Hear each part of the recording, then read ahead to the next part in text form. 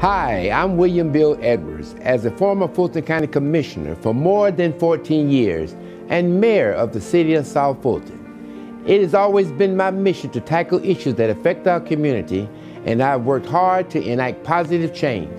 But this can't be done by elected officials alone. We need help from residents of the City of South Fulton, working together with their elected body to accomplish our goals. You can do this by getting out to vote Early voting is underway, and Municipal Election 2020 is Tuesday, November 5th, 2019, and I encourage you to get out and vote. There are a number of items on the ballot that affect the city of South Fulton.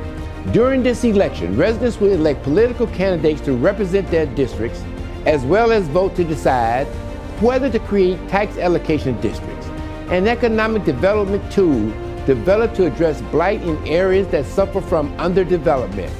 Residents will also vote to approve or disapprove a city homestead exemption, which helps prevent the increase of property tax values. Remember, your community is counting on you. So get up, get out, and go vote.